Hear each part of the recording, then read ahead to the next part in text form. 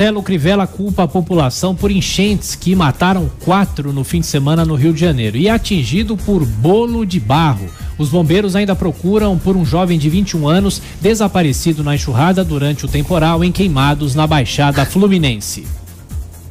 Bom, desnecessário dizer que a fala do prefeito foi muito infeliz, para dizer o mínimo, e que, obviamente, nada justifica a agressão às autoridades. Então tá todo mundo errado. Agora, o caso do Rio realmente é peculiar, porque é um somatório de erros. É óbvio que várias prefeituras têm é, é, errado é, de forma sistemática, não atendendo a população, ao mesmo tempo que, se for lá também retirar gente que mora em lugar de perigo, vai haver, obviamente, chamadas sensacionalistas e mostrar as famílias pobres sendo retiradas de suas casas. Então, a população também tem parcela de culpa por jogar lixo na rua, por morar onde não pode, mas a prefeitura não oferece solução, não, não oferece alternativa.